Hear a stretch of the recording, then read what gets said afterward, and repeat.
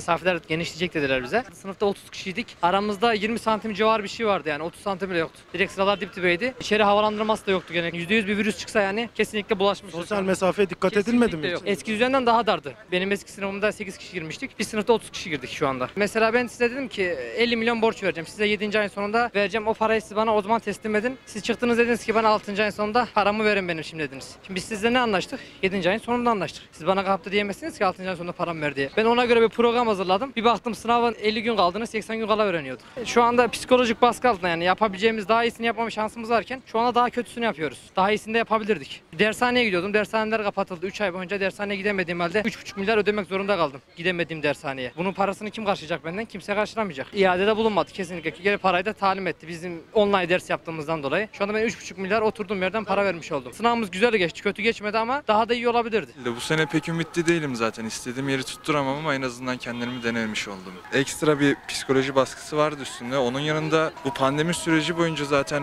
sürekli evde kaldığımız için psikolojik sorunlar da yaşadık. Bunun sonucu olarak derslerimize iyi çalışamadık. Boşluk bıraktık o sırada. Onun eksikliğini de şimdi bedelini ödedik. Geç yapılsa sınav tarihi belli değildi. Bayağı tepki verdiler erken alınmasına. Geç olsaydı daha iyi olurdu gibi geldi. Zor değildi. Tarih değişikliği falan oldu. Bir Temmuz ertelendi geri alındı. Ne yapacağımızı şaşırdık ama sonuçta girdik yine. Süreç biraz sıkıntılı oldu. Çocuklar biraz koptu ama toparladığına inanıyorum. Bugün de iyi geçtiğini söyledi. İyiyiz yani. Bir felsefe falan çok zordu. Fizik çok zordu. E, Biyoloji kolaydı. İlk aylarda zorlandım. Sonra alışıyorsunuz bir süre sonra. Bana öyle oldu. Sonra alıştığım için çok zorlanmadım ama sürecin değişmesi bayağı etkiledi yine. Konularını yetiştiremeyenler tabii ki bayağı üzüldüler bu duruma. Herkesin kendi çalışma programına göre değişiklik oldu yani. İyi geçti. Yani sandığımdan daha kolaydı. Yani yaşıtlarıma göre benim için çok sıkıntı olmadı. Bu çok önemsemiyordum bunu. Türkçe çok uzundu. Türkçeyi çözeceğim diye matematiğe sürem kalmadı. Yani öyle kötüydü.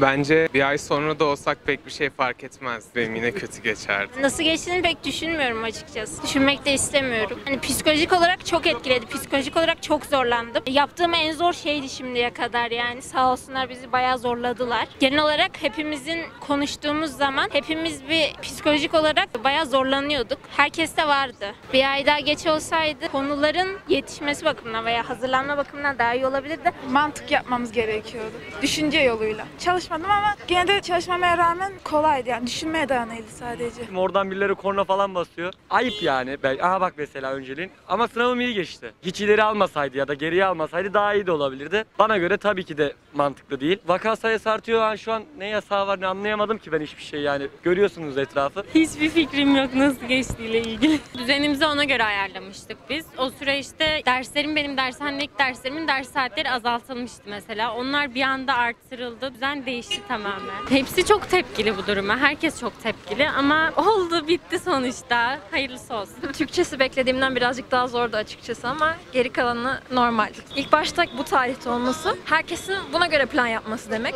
Ama ileri alınca da konuları o tarihlere yaymak demek. O yüzden tabii ki etkiliyor ama herkes aynı şekilde etkilediği için sonuçları çok değiştireceğini düşünmüyorum. Gerçekten bu sene biraz farklıydı. Hem heyecanlı hem farklı hem de birazcık gerçekten tedirginlik verici bir yıldı. Tabii ki sonuçta kimsenin elinde olan bir şey değil. Her şarta alışıyoruz. E buna da alıştık. Ona uyum sağlayarak işte çocuğumuzun da bir şekilde e, uyum sağlamasını sağlayarak süreci geçirmeye çalıştık. İnşallah sonu iyi olur diyelim.